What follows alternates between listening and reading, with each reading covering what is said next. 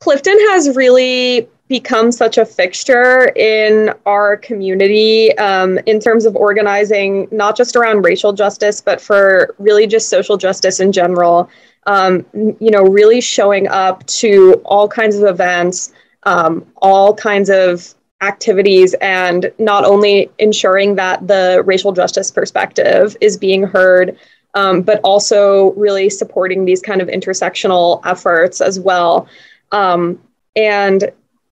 all the while, you know, these are not um, easy things to deal with, right? We're talking about um, people who have been murdered, people who have suffered at the hands of police brutality, um, people who are having, you know, their rights stripped away. Um, and he's able to, you know, impart that information in the appropriate way to people, but also really motivate and inspire people to um,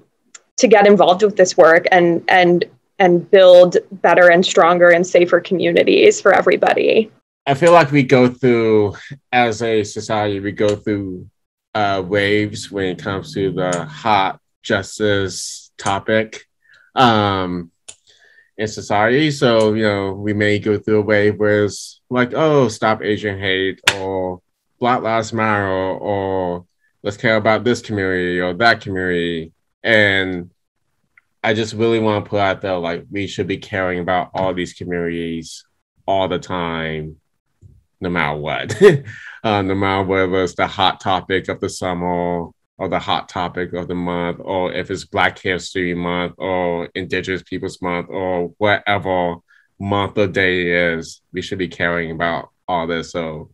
the first time we met in person was um, at a meeting with um, one of the House representatives from Durham, Cam Kenney, um, and we were the three of us went and got coffee, and we're just kind of talking about um, you know how the the House could kind of support both of our our efforts, and um, I just remember that um, Clifton showed up with the, I think it was the list of demands that um, BLM Seacoast had kind of co-authored um, in terms of, you know, transparency from law enforcement and some kind of um, broader racial justice goals as well. Um, and he just like really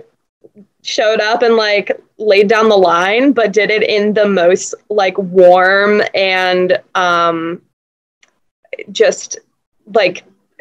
like how could you not want to like be on board with anything that this guy is doing type of way? And that just really struck me and i've noticed that time and time again like every time we work together um, he is just like simultaneously such a ray of sunshine and also like so deeply committed to this work and so good at advancing the causes that um, he cares about and that really benefit our communities